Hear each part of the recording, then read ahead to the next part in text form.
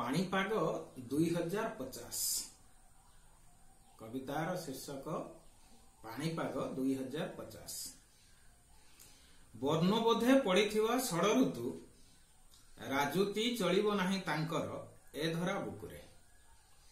ବର୍ଣ୍ଣବୋଧେ ପଡ଼ିଥିବା ଷଡ଼ ଋତୁ ରାଜୁତି ଚଳିବ ନାହିଁ ତାଙ୍କର ଏ ଧରା ବୁକୁରେ।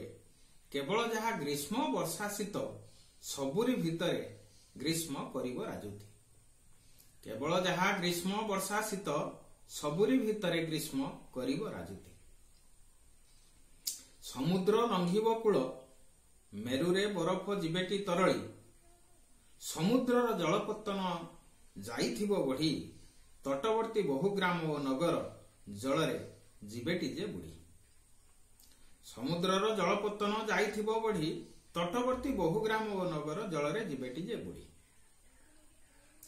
ବର୍ଷାର ପ୍ରଖରତା ଗ୍ରୀଷ୍ମର ଝାଞ୍ଜିବା ଶୀତର ପ୍ରକୋପ ହୋଇବ ଅସହ୍ୟ। ମଶା ମାଛି କୀଟ ଓ ପତଙ୍ଗ କରିବେ ଉତ୍ପାତ। ପଙ୍ଗପାଳ ମୁହଁରେ ଯିବଟି ଫସଲ। ମଶା ମାଛି କୀଟ ଓ ପତଙ୍ଗ କରିବେ ଉତ୍ପାତ। ପଙ୍ଗପାଳ ମୁହଁରେ ଯିବଟି ଫସଲ। କୋଡ଼ିଏ ବର୍ଷର ଭେଣ୍ଡିଆ ଆଣିବ ବୃଦ୍ଧର ଚେହେରା। ଫଳ ଫସଲ ଉତ୍ପାଦନ ହୋଇଯିବ ହ୍ରାସ। ବନ୍ୟା ବିଭୀଷିକା ସବୁକୁ ଟପିବ। ସୁନାମି ଓ ହରିକେନ୍ ବହୁବାର ରଚିବେ ତାଣ୍ଡବ ଲୀଳା ବନ୍ୟା ବିଭୀଷିକା ସବୁକୁ ଟପିବ। ସୁନାମି ଓ ହରିକେନ୍ ବହୁବାର ରଚିବେ ତାଣ୍ଡବ ଲୀଳା ବେଳ ଥାଉ ସାବଧାନ ହୁଅ ବିଶ୍ୱବାସୀ। ସବୁ ଦେଶେ ସୃଷ୍ଟି ହେବ ଇଥିଓପିଆ। ଏରିଥ୍ରିଆର ପରିସ୍ଥିତି। କେତେ ଜୀବଜନ୍ତୁ ହେବେ ଯେ ବିଲୀନ। ବେଳ ଥାଉ ସାବଧାନ ହୁଅ ବିଶ୍ୱବାସୀ। ସବୁ ଦେଶେ ସୃଷ୍ଟି ହେବ ଇଥିଓପିଆ ଏରିଥ୍ରିଆର ପରିସ୍ଥିତି। କେତେ ଜୀବଜନ୍ତୁ ହେବେ ଯେ ବିଲୀନ? ଗଙ୍ଗାରେ ଜଳ ପ୍ରବାହ ହୋଇଯିବ ହ୍ରାସ। ମରୁଭୂମିର ପରିସୀମା ଯିବ ମେଲି ମେଲି। ନୂଆ ଥର ସୃଷ୍ଟି ହେବ ଦେଶରେ ଦେଶରେ ଉତ୍ତାପ ବୃଦ୍ଧି ସମୀକରଣର ସମାଧାନ। ଜନସଂଖ୍ୟା ନିୟନ୍ତ୍ରଣ ଆଉ ବନୀକରଣ ସାଙ୍ଗକୁ ପ୍ରଦୂଷଣ ନିୟନ୍ତ୍ରଣ।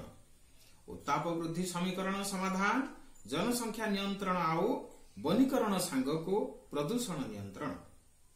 ମୌସୁମୀ ଆମ ପାଇଁ ହେବ ଧୋକାବାଜ। ଧାନ ନୁହେଁ ଆଖୁ ପାଇଁ ହେବା ସଜବାଜ। ମୌସୁମୀ ଆମ ପାଇଁ ହେବ ଧୋକାବାଜ। ଧାନ ନୁହେଁ ଆଖୁ ପାଇଁ ହେବା ସଜବାଜ। ଜଳସ୍ତର ରକ୍ଷା ପାଇଁ ପ୍ରତିକାର କରି ଜଳାଶୟ ପୋତିବା ନାହିଁ କରିବା ଖନନ କାରଣ ଜଳ ହିଁ ଜୀବନ। ଜଳାଶୟ ପୋତିବା ନାହିଁ କରିବା ଖନନ କାରଣ ଜଳ ହିଁ ଆମର ଜୀବନ।